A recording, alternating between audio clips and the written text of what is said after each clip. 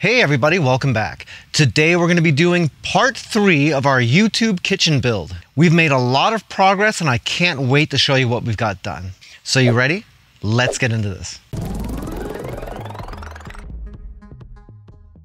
Well, we just had Hurricane Hilary blowing through here last night. And luckily our house isn't underwater or anything like that. But we did have enough water hitting shed for us to see a little bit of water intrusion. You can see it right down there. At first I was a little bit disenchanted because I thought I sealed that bottom plate up really good. But what I found out was that it didn't come in from underneath the door. It came in from up above, right up here, right above the top of the framing. As you can see, that's all wet right there. You can see I blew all this insulation in up here, but that's really just to fill in air gaps. That doesn't do anything for waterproofing. So after inspecting that a little bit more, I was able to determine that the water is leaking in into the top of all of these panels here. These aren't sealed at all against the exterior of the shed.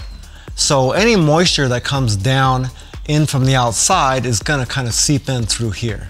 So what I'm gonna do is I'm gonna go around the entire shed and all of these pieces of trim, I'm gonna seal those up with silicone caulking all the way back and forth and all the way around the edges of all the openings in the house. I'm gonna have to hit all this side trim, probably up around that vent, and I'm gonna have to make sure that all this trim on the side and all around the window there are sealed as well. Ironically, this is up here to redirect the rain, but that's not sealed here either, so the water is just getting in behind this and coming straight down.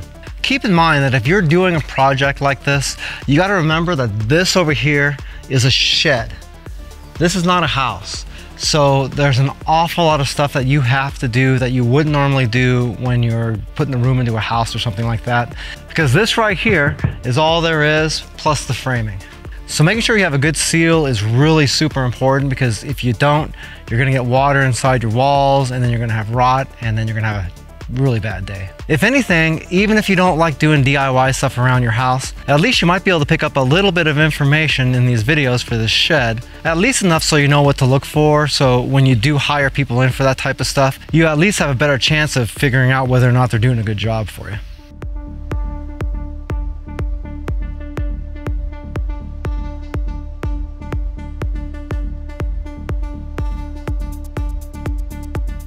Okay, you can see this sealant here goes on white. That's something you have to realize that when this dries, it's gonna be clear. Because I didn't really read the directions and it says right in there that it's gonna start off white and dry clear.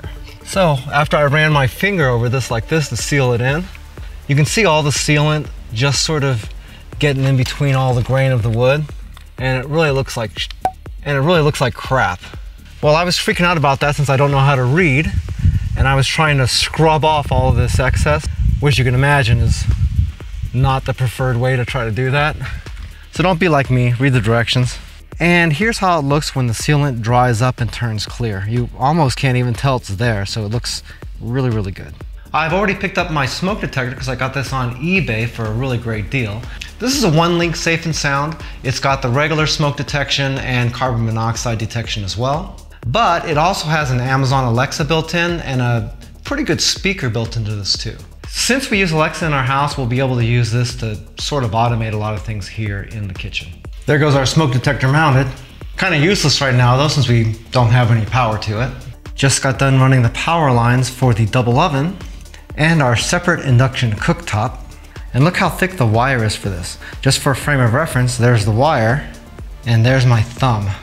You can see right here that I got most of my electrical panel wired up now. Once we get the service line in here, we can flip the switch and turn on the power. That's gonna be fun. What's the worst that could happen?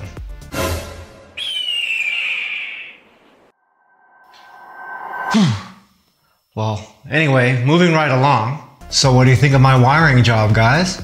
Pretty sweet, huh? And don't worry about the cover being off of the panel. It's not dangerous because there is no service line running in here just yet, so Basically, it's a big brick right now, at least for another few weeks. I got to run a water line from our well way out there, all the way down to right here, coming through that wall. I got to run power line all the way about 50 feet past that gate yonder over there, and we're gonna have to run it all along our property here, take a turn in front of that shed, come all the way back through here, and we're gonna have to hook that up onto the back side of the shed over there. So that's something like 260 feet, and that stuff is like five or six bucks a foot, so that's gonna suck when I get to that. But it's coming real soon. And the only other trench I gotta dig is way off in the front of the house. You can't even see it from here. It's way past the side of that room over there. All the way down our property line, over here and down there, and also into the shed, kind of where the power line's coming in.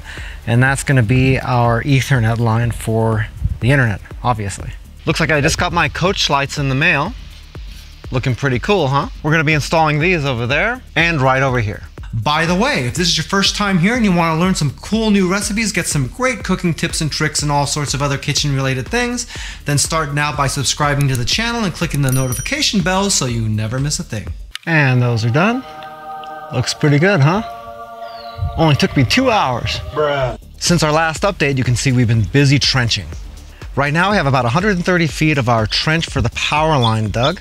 But we still have about another 130 feet to trench on that, and we're gonna be going through a bunch of root and other things, so that's gonna be a big pain in the neck. You can see it curving around the back of the studio right there. In addition to the trench for the power service line, we also had to run a trench for our water. Luckily, our well is over in the shed, and that's only about 50 feet from our studio, so cutting that trench wasn't really all that bad. But we still had to use a pickaxe to break the ground up a little bit, and then we had to use a trenching shovel in order to dig that out. Once we got that done, it was easy enough just to run PVC from the well all the way over to our studio, run it up the wall and in.